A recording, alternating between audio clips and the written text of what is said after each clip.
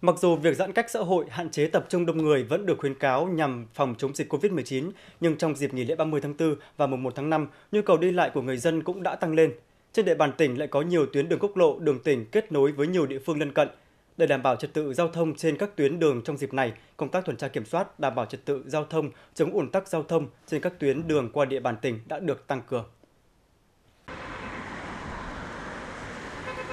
Đây là hình ảnh chúng tôi ghi lại trong buổi sáng ngày nghỉ lễ 30 tháng 4 trên tuyến cao tốc Hà Nội Bắc Giang.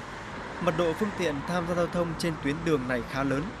Hầu hết các phương tiện tham gia giao thông là xe mô tô và ô tô cá nhân. Để đảm bảo trật tự giao thông, Phòng Cảnh sát giao thông đã bố trí lực lượng ứng trực tại những khu vực đường gom dân sinh kết nối vào đường cao tốc để hướng dẫn phương tiện xe mô tô đi vào đường gom. Đồng thời xử lý nghiêm đối với những trường hợp điều khiển xe mô tô đi vào đường cao tốc và đi ngược chiều. Em không biết là đi vào đường cấm. Thì hôm nay mới lần đầu mới đi xuống về quê đi bằng xe máy. Thế có để ý biển báo à? Em không để ý ạ. Nhà là gần đây thế nên là muốn đi tắt qua đây cho nó gần. Qua việc đi mình suy nghĩ mình thấy nó nguy hiểm không?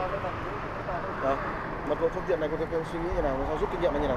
Hay đúng ra thật là đúng thế nó mới là một cái kinh nghiệm tại vì cũng chưa bị bao giờ chưa chưa bị đi sai làn đường hoặc là cái gì bao giờ cả hôm nay thì cũng chỉ biết là nhà ở gần đây thế là tắt xuống đây nó gần trong hai ngày nghỉ 30 tháng 4 và mùng 1 tháng 5 cũng như hai ngày nghỉ thứ bảy và chủ nhật Phòng Cảnh sát Giao thông tổ chức trực 100% quân số để thực hiện nhiệm vụ đảm bảo trật tự giao thông, đồng thời tổ chức tuần tra kiểm soát 24 trên 24 giờ trên tất cả các tuyến quốc lộ qua địa bàn tỉnh.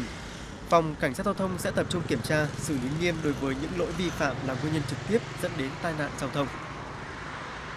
Trong những ngày nghỉ lễ 30 tháng 4, 1 tháng 5, thì phòng cảnh giao thông cũng đã xây dựng cái kế hoạch và phương án đảm bảo tuần tra kiểm soát. Chúng tôi huy động tối đa cái lực lượng, phương tiện để tập trung cho cái công tác tuần tra kiểm soát, đấy, phòng ngừa tai nạn cũng như là kịp thời phân tuyến phân luồng để không để xảy ra ùn tắc giao thông, đua xe máy trái phép. Đấy, trong những ngày này thì chúng tôi sẽ tăng cường ờ, tổ chức tuần tra kiểm soát trên những tuyến địa bàn, những cái đoạn đường mà phức tạp về trật tự an toàn giao thông. Đồng thời là tập trung kiểm tra xử lý nghiêm những cái hành vi vi phạm là nguyên nhân chính gây ra tai nạn giao thông. Như đi quá tốc độ ờ, đi không đúng phần đường, làn đường và đặc biệt là tăng cường tập trung kiểm tra xử lý cái chuyên đề vi phạm về nồng độ cồn, điều khiển phương tiện khi tham gia giao thông.